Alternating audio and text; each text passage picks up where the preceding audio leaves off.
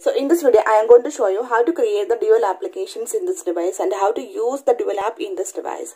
If you are new in this channel, please do subscribe my YouTube channel and press the bell icon for more tech videos. So friends, let's get started. So simply go to settings, then scroll down. At the bottom side, you can see the option app management. Tap on it. So here you can see the option app cloner tap on it. So in this page you can see all the applications that support the dual system in this device that you installed.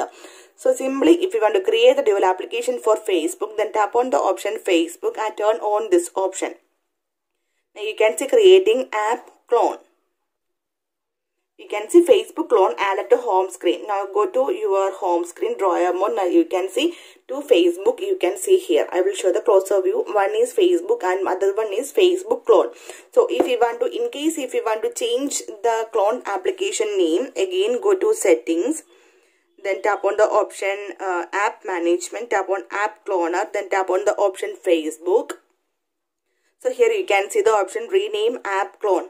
It. So here you can enter a new name. So here I am going to enter FB. After that tap on the tick symbol. Okay now you can see the name. You can see FB. Now again go to the confirm. This one.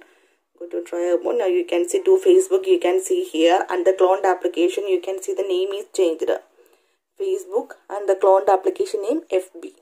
So simply in this way you can create the dual application in this device. So hope you guys enjoy this video. If you like this one please like and share and don't forget to subscribe this channel for more updates. Thank you for watching. Thank you. Bye bye.